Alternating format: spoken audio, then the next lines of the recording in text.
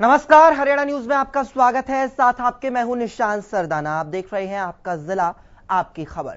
कांग्रेस के प्रदेश प्रवक्ता विकास चौधरी की हत्या के मामले में पुलिस ने गैंगस्टर कौशल की पत्नी और उसके नौकर को गिरफ़्तार कर लिया है। पुलिस ने यह दावा किया है कि विकास चौधरी की हत्या पैसों के लेन देन को लेकर हुई थी। गौरतलब है कि हरियाणा प्रदेश कांग्रेस कमेटी के प्रवक्ता विकास चौधरी की गुरुवार को दिन दहाड़े गोलियों से छलनी कर हत्या कर दी गई। वो सेक्टर नो हुड्डा मार्केट में सुबह नौ बजे जिम करने के लिए पहुँचे थे। जब वो अपनी कार से उतर ही रहे थे कि बदमाशों ने उन पर ताबड़तोड़ गोलियाँ बरसा दी। घायल विकास को अस्पताल में भर्ती करवाया गया, जहाँ इलाज के दौरान विकास ने दम तोड़ दिया।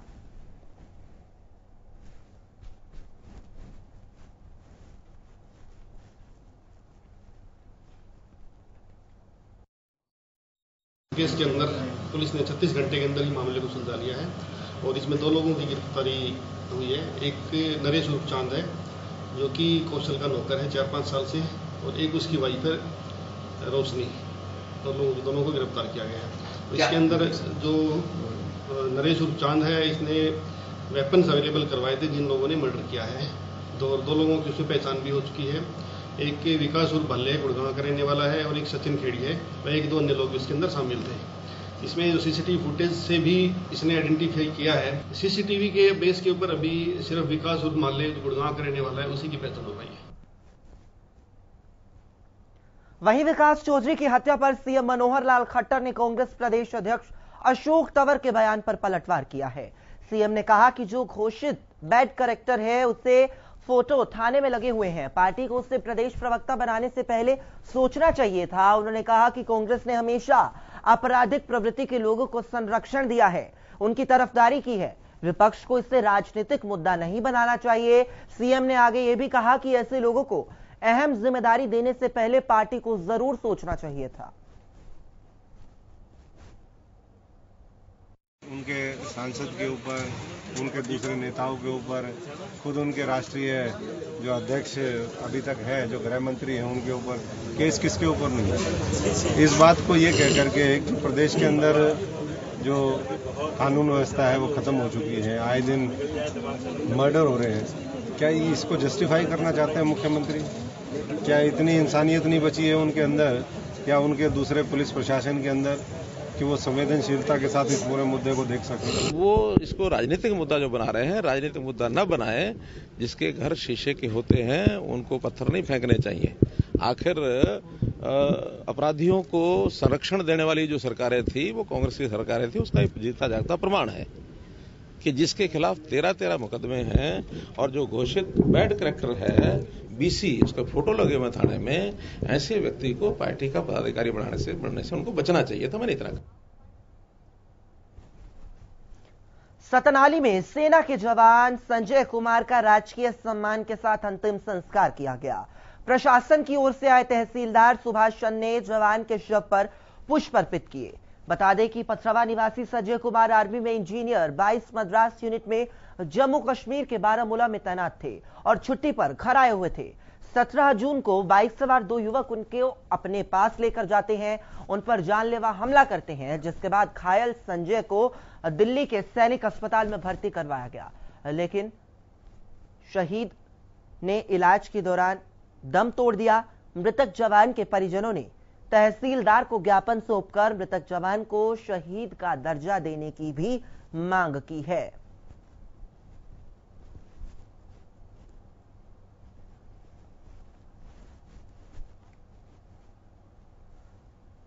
खबर सोनीपत से है जहाँ नाहरी गाँव में प्रेम प्रसंग के चलते पति की हत्या करने का मामला सामने आया है। प्रेमिका ने पहले तो प्रेमी संग मिलकर अपने पति की हत्या की और उसके बाद हत्या को, आत्महत्या का रूप देने के लिए पति के शव को पंखे से लटका दिया। वहीं दूसरी ओर प्रेमिका के चक्कर में प्रेमी पर भी अपनी पत्नी की हत्या का आरोप लगा है।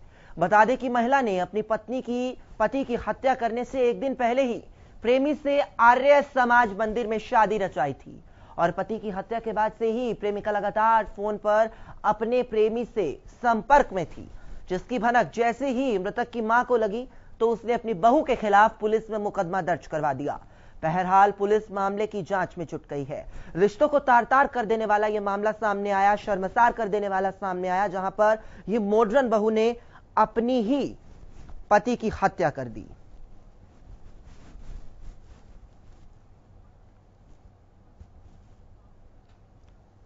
यमुनानगर में लंबे वक्त से चले आ रहे खनन माफिया के खिलाफ पुलिस प्रशासन ने मोर्चा खोल दिया है। यमुनानगर में हाईटेक तरीके से अब खनन माफिया पर नज़र रखी जाएगी, जिसके लिए ड्रोन कैमरों की मदद ली जाएगी। अवैध खनन को रोकने के लिए यमुनानगर के पुलिस प्रशासन और सहारनपुर प्रशासन की ओर से खनन अधिकारियों के साथ अहम बैठक की गई, जिसमें दोनों ओर से सुझाव भी दिए गए कि किस तरीके से दोनों तरफ़ का प्रशासन मिलकर एक दूसरे को सहयोग करेगा और आपसी तालमेल के साथ अवैध खनन पर रोक लगाने का काम करेंगे।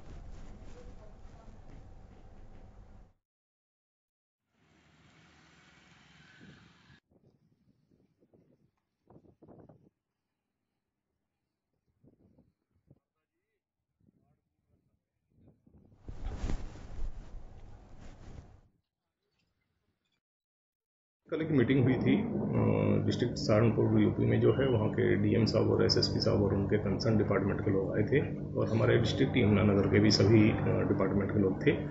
और वहाँ पर जो है, हमने विज़िट भी की है और कुछ पॉइंट्स थे जिनको क्लियर करना था, वो सारे क्लियर हुए हैं।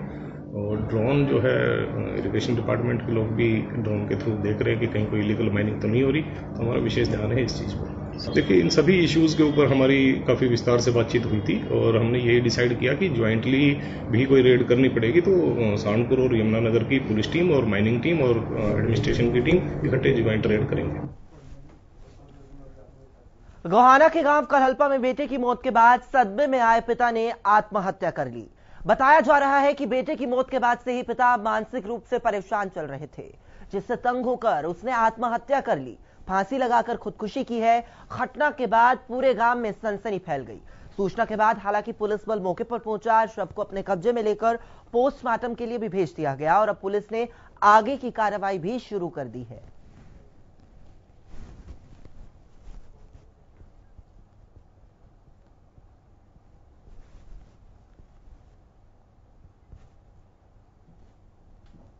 पानीपत में ओवरलोड वाहन लोगों का काल बनकर सड़कों पर दौड़ रहा है। समालखा के पास ओवरलोड ट्रैक्टर ट्रोली चालक की लापरवाही से दो लोगों की जान चली गई।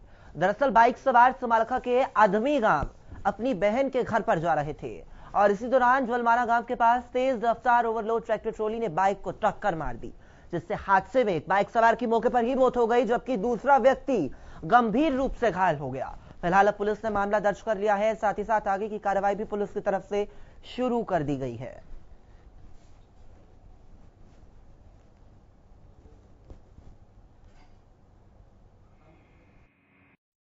ये एक्सीडेंट ट्रैक्टर के साथ हुआ ये सिंदुर्ली से रमड़ गाँव की तरफ़ जा रहे थे रात के आठ बजे करीब।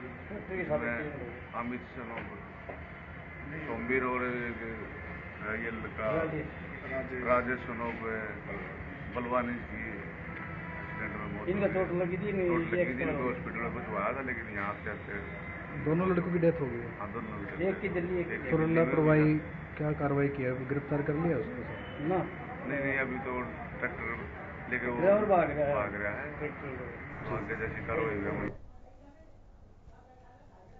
फतेहाबाद में नशे का खेल लगातार बढ़ता जा रहा है। पुरुषों के साथ साथ अब महिलाएँ भी नशा तस्करी करने में सामने आने लगी है।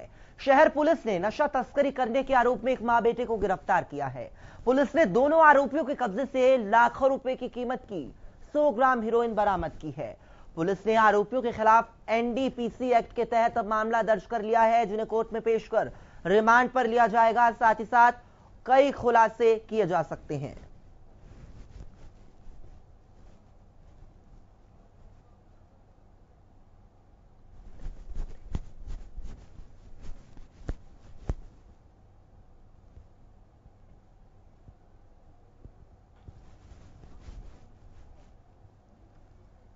प्रधानमंत्री आवास योजना का इंतज़ार आखिर अब खत्म होगा। सब यही इंतज़ार कर रहे हैं, लेकिन लापरवाही का आलम यह है कि पत्र तो मिले, लेकिन राशि भगवान भरोसे है। रिपोर्ट देखिए।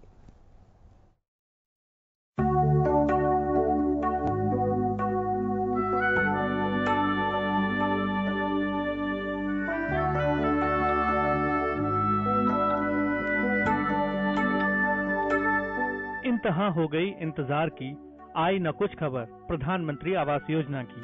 इंतज़ार की घड़ी यूँ बढ़ी, आवेदकों के दिल की जैसे धड़कने भी बढ़ी। लोग तोड़ चुके हैं कच्चे मकान, फिर भी न आया कोई फरमान। शायद अब तो मिल जाए योजना का लाभ, दर दर भटक कर लोग हैं परेशान। सरकारी अफसरों को नहीं किसी का ध्यान, छह महीने का हो चुका है वक्त। और विधायक नरेश कौशिक दे गए थे योजना के पात्रों को, एलओसी के प्रमाण पत्र प्रधानमंत्री आवास योजना के तहत लोगों को घर मिलने थे जिसके लिए प्रमाण पत्र तो बांटे गए, लेकिन राशि देने के नाम पर जैसे सब गायब हो गए। दूसरी तरफ़ अधिकारियों की लापरवाही का ऐसा मंजर कि न दे पाए किसी को घर। फिर भी छीन लिए हज़ारों के घर, सिर ढकने के लिए भी नहीं है जिनके पास मकान, सपना संजोए बैठे लोग अब हताश हैं। योजना पूरी करने के लिए प्रमाण पत्र के बाद राशि भी देना ज़रूरी होता है, लेकिन यहाँ राशि ही अधूरी रह गई। स्थानीय निवासी रोशनी देवी का कहना है कि 25 दिसंबर 2018 को नगर परिषद से जारी पत्र विधायक नरेश कौशिक ने उन्हें सौंपा था। बुनियाद कार्य पूरा होने पर एक लाख रुपए की किस्त मिली थी, लेकिन बाद की किस्त न जाने कहाँ खो गई। गुहार लगाते रहे, छत लगाने के लिए राशि मांगते रहे, लेकिन मिला कुछ नहीं। समस्या ये है कि पहले घर रुलवा दिया, पैसे ले गए इसके, फ़ोटो खींच ले गए पाँच हज़ार नक्शे वाले ले लिए। हैं। और ये पंद्रह सौ बीस की पर्ची उन्हें काट दी, और यो में लेकर मिला था बोला, अब तो बाद वो आ जाएगा लोन यो पीछे पीछे, और इतना कुछ नहीं आ लिया है। मांग मेरी ये है, मेरे पैसे आ जाओ, मैं अपने बच्चे के लिए, यो, मेरे लिए ला लो, विधवा में वहीं सुशीला देवी का कहना है कि नए मकान के लिए पुराने मकान तो तोड़ दिए, लेकिन नई छत की चाह ने पुरानी छत भी सर से छीन ली। नगर परिषद के चक्कर लगा रहे हैं, लेकिन राशि के नाम पर मिल रही है तो बस ठोकरे। ये घर की है जी। यो घर पड़वा दिया यो बन जाते कोकरे झूपड़ी मधुखी हो जी। लट्टा समय तू करना हूँ ये नरेंद्र को करना पड़वा था जी। अल्लाह ने जो तनु बोले पैसे मिल जाएँगे।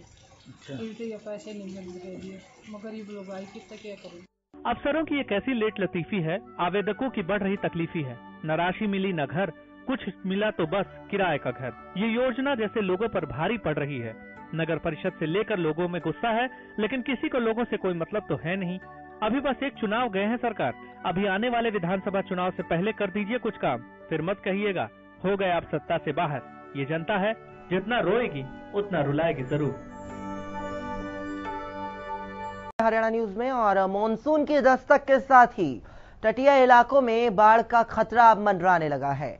ऐसे इलाकों में एक टोहाना भी शामिल है, जहाँ बारिश के दिनों में घघर नदी और दूसरे माइनर उफान पर आ जाते हैं, जिससे किसानों और स्थानीय निवासियों का बाढ़ का खतरा सताने लगता है, डर सताने लगता है, जिसको लेकर नहरी विभाग ने अब कमर कस ली है।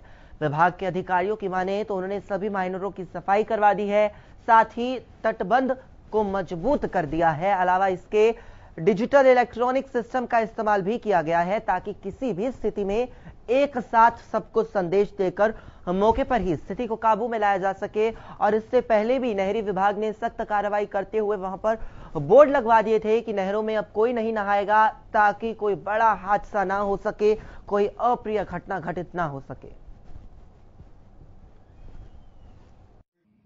हमारे एरिया में जितनी भी पड़ने वाली ड्रेनें हैं, उनकी हमने सफ़ाई सभी की करवा दी है, उनमें कोई भी रुकावट नहीं है।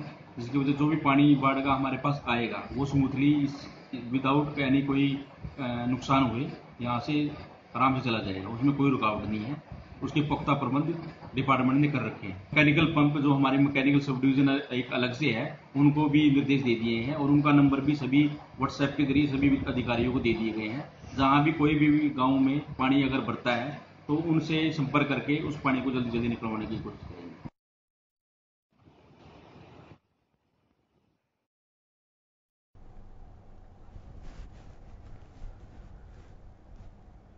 शनिवार को अंबाला से निकलने वाली छप्पन ट्रेन मेगा ब्लॉक के कारण रद्द कर दी गई। दरअसल अमृतसर, लुधियाना रेल सेक्शन पर जलंधर, छावनी, चहेड़ू स्टेशन और अंबाला, लुधियाना सेक्शन पर साधुगढ़ सराय, बंजवारा स्टेशन के बीच सबवे का निर्माण कार्य हो रहा है। जिस कारण ही अंबाला से निकलने वाली ट्रेनों को रद्द कर दिया गया और कुछ ट्रेनों के रूट को डाइवर्ट कर दिया गया।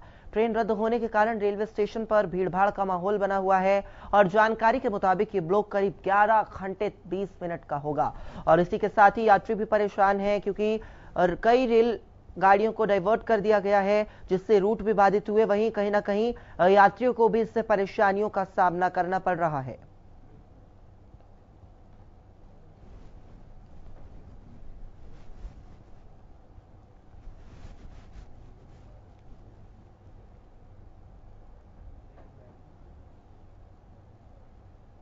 सैटरडे को जो ब्लॉक होने वाला है उसमें घंटे बीस मिनट का ब्लॉक होगा।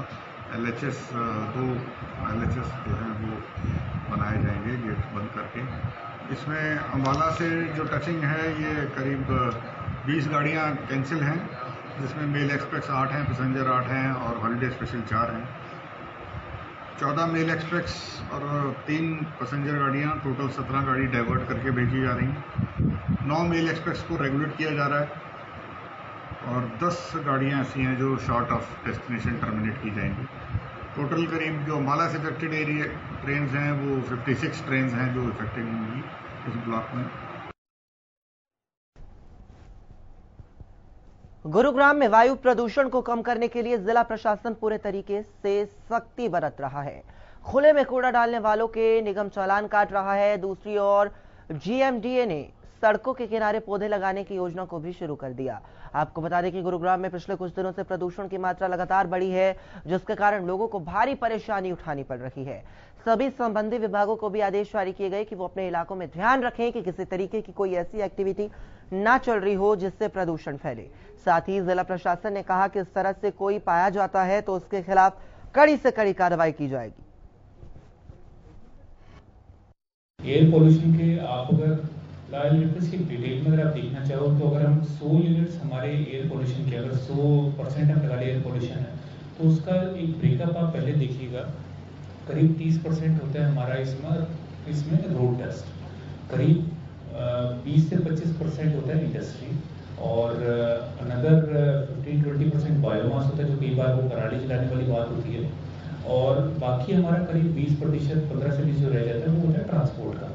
तो इसमें जिस प्रकार से हमारा पॉल्यूशन बढ़ा है रिसेंट टाइम्स में, और ग्रीन पीस की रिपोर्ट ने हाईलाइट भी किया है कि कैसे अमंग द वर्स्ट हमारी एयर क्वालिटी है।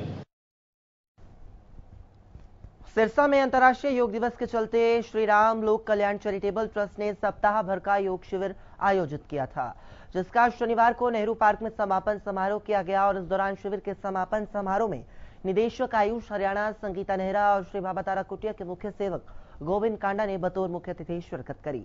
इस मौके पर श्री बाबा तारा कुटिया के मुख्य सेवक गोविंद कांडा ने कहा कि योग करने से नशे आदि की बुरी आदत से छुटकारा पाया जा सकता है। साथ ही साथ ये भी कहा कि योग भारत की पुरातन पद्धति है। संगीता नेहरा ने भी योग को लेकर कहा कि ध्यान लगाने से स्मरण शक्ति की वृद्धि होती है और ध्यान योग करने वाले व्यक्ति का मन सदैव खुश रहता है।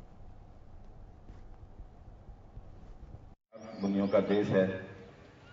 और इतने बड़े बड़े मुनि जो हमारे भारत में हुए, उनके कारण आज हम ज़िंदा हैं, जिन्होंने योग दिया सच है ये कि योग करने से निरोगी काया हम सभी जानते हैं, लेकिन मुझे ये भी पता है कि हमारे भारतवर्ष के अंदर योग हमारे सिरसा जिला में जो भारत के अंदर एक ऐसा जिला है, सिरसा जिला, जहाँ प्रेम, प्यार, भाईचारा, मान, सम्मान जो यहाँ है पूरे भारतवर्ष में कहीं नहीं। बुलेटिन में फ़िलहाल मेरे साथ इतना ही। बाकी खबरों के लिए आप बने रहिए हरियाणा न्यूज़ के साथ। नमस्कार।